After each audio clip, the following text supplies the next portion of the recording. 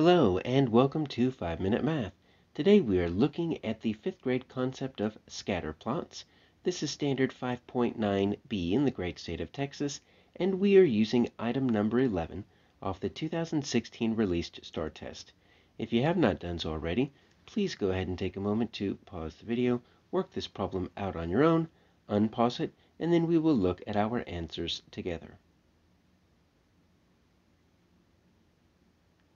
So we have a table here, and it's going to show the high temperatures and the numbers of snow cones sold at a snack bar on seven days. And so we have these scatter plots. So what are these scatter plots here? Well, these are a new type of graph that we see in fifth grade, introduced to us for the very first time, and it acts very much like a coordinate plane.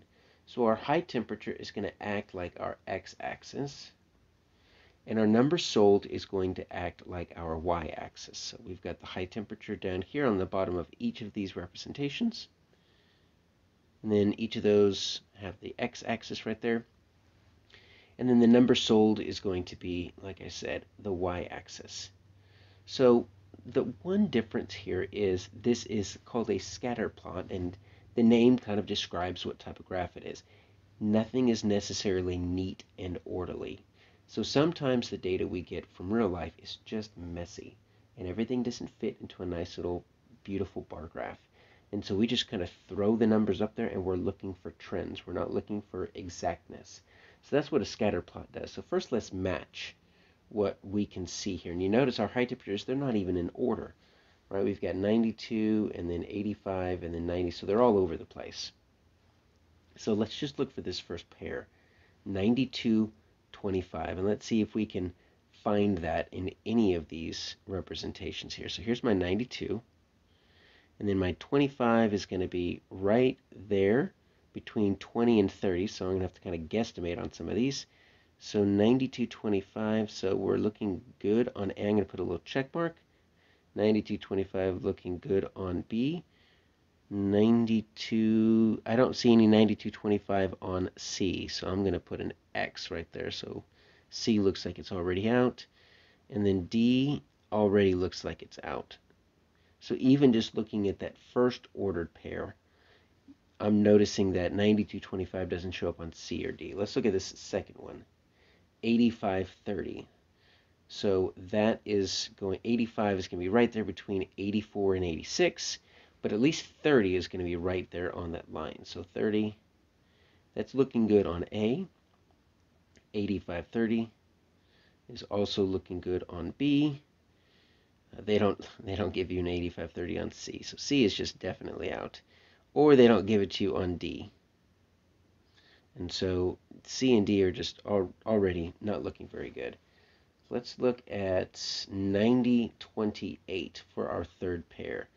So I've got 90, and here's my 28, and I'm going to call that a 28 right there. That's just barely below 30. But see, look at this B, 90. See that, that one right there should be a little bit lower. They actually have it on the line, so I'm thinking that B is out. We already know C and D are out. So let me just check the rest of A to see if it works for me. 87, 22. So 87 is right here between 86 and 88, and 22 is just a hair above 20. So that is looking good. Let's look at uh, 8722 on B. Once again, look, see, B is out because that 22, that should be right above the 20, not on the 20. So there we go. There's confirmation that B is out. Let's check 9532. There's my 9532 is right above the 30. There we go. Let's check 9330. 93 is between 92 and 94, right on the 30 line and 9240 9240 so here's there we go. So a is looking good and that's one of the reasons why we can have a scatter plot is look you've got two different y coordinates if you want to call them for 92 you've got a 9240 and you've got a 9225 and that's perfectly fine. So if we were wanting to use this as a scat plot to try to figure out what's the trend line we could almost kind of draw a line kind of going up like this. It's not exactly perfect, but you can see the trend as the temperature goes up, the number of snow cones sold goes up. So that's what a scatter plot is used for, and our answer is A.